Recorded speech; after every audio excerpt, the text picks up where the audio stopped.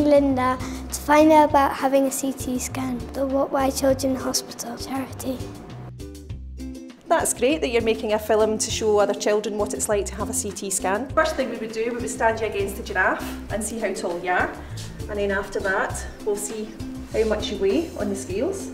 And then just before we get you into the room, you can pick a lead coat for mum or dad because they can come into the room and stand beside you.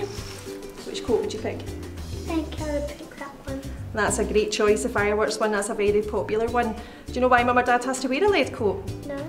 Well, we don't want them in the picture and this very, very heavy coat stops the x-rays from getting to mum or dad while they're standing beside you when you're having your scan done. What is a CT scan? A CT scan is a very, very quick and easy scan that we can see inside your body.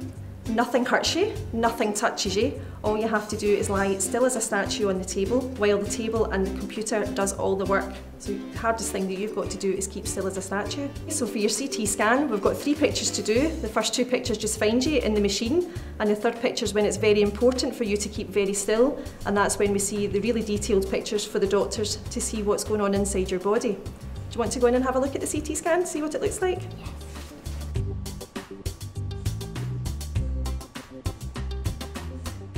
First thing we're going to do is we're going to lie you up on the table and then I'll bring the table up to the right height because we need to get you into the right height before we get you into the scanner. The camera's in the middle of the scanner, so the only way we can get you in there is by moving the table into the middle of the camera. So we're just going to do that now.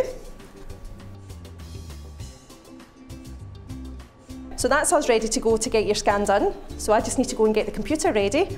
And the most important bit that you have to do is keep very, very still. So the table's going to start sliding out three times and on that third time, that's a really important time to keep very, very still.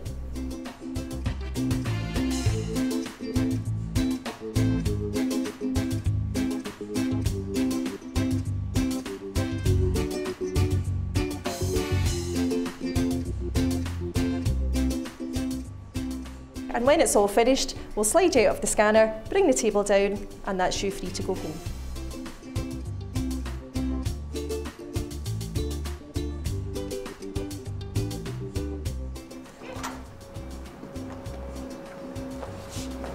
Thank you for showing me around the CT. I look forward to seeing the film.